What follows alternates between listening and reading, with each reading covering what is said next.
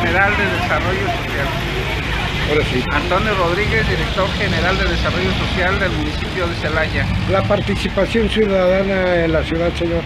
Sí, el, algo importante, el presidente municipal, ingeniero Ramón Lemos, eh, en su programa de gobierno, precisamente eh, nos instruye trabajar lo que es la participación ciudadana, la participación social de los comités de colonias y fraccionamientos de la zona urbana de aquí del municipio de Celaya, los cuales eh, están trabajando en acciones de, de salud, eh, eh, comento acciones de lo que son eh, con acciones de salud desde prevención,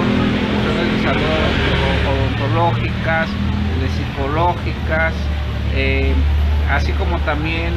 eh, otros temas también importantes que está- se está trabajando son temas, por ejemplo, inclusive la vinculación importante que estuvo con la Comisión Sanitaria local en el tema precisamente de la prevención de,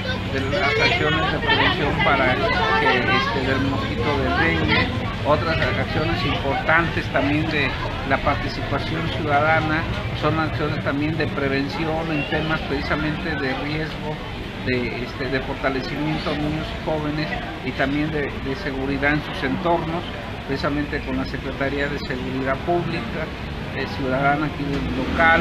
eh, así como también otras acciones importantes en el tema educativo, con una vinculación importante con INAEVA, donde se está trabajando con los presidentes de colonia, presidentes de colonias, de fraccionamientos de la zona urbana, para que se, lleve a cabo precisamente jóvenes mayores de 15 años o adultos que por alguna circunstancia de la vida no terminaron su primaria o secundaria, lo puedan obtener en un, en un examen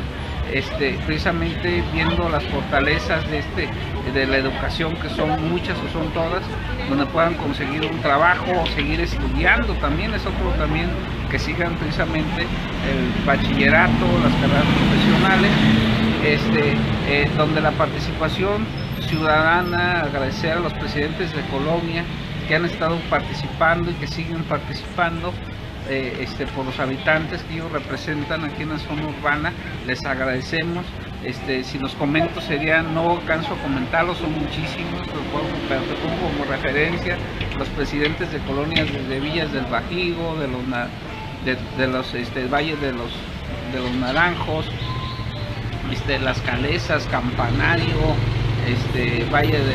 Valle del Real, este, Las Arboledas, Rosalinda, este, pues son aproximadamente ahorita que nos hemos reunido entre 150 presidentes de colonia, a los cuales se reconoce su labor social y algo importante eh, que también se reconoce los, los, el los valores que tienen, porque los valores